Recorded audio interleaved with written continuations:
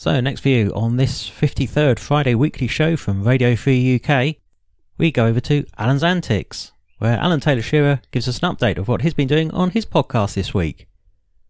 We do include some of his items, but there's lots more there, so I do suggest that you click through and have a look. So, what have you been doing this week, Alan?